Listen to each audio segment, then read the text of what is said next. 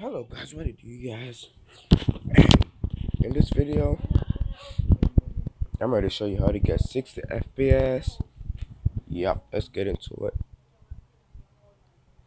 Alright, so you want to go on Google, your Play Store, you want to download this Game Tuner. And you open it. In that. Then your performance pool gonna be off. You wanna make sure you go inside your settings, like in this settings, you gonna game.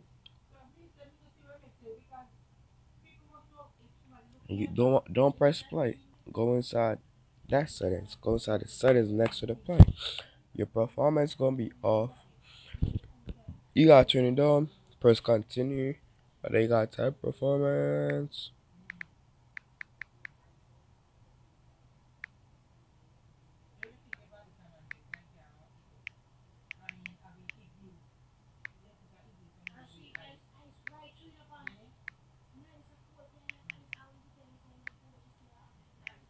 Hold up.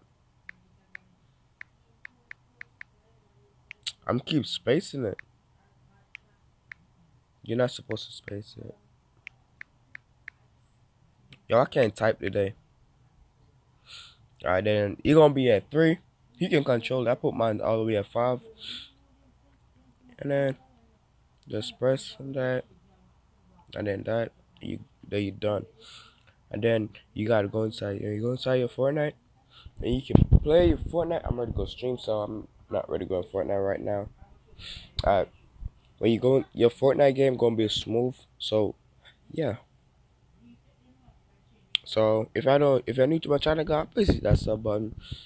And this, um, you can, um, this gonna work for the S7 or on the 8 because I got an 8 on the work for mine, and we gonna work for the 7.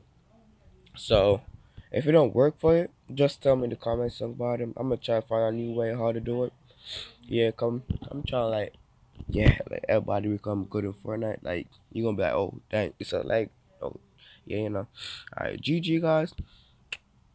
I just say GG. Now you know what?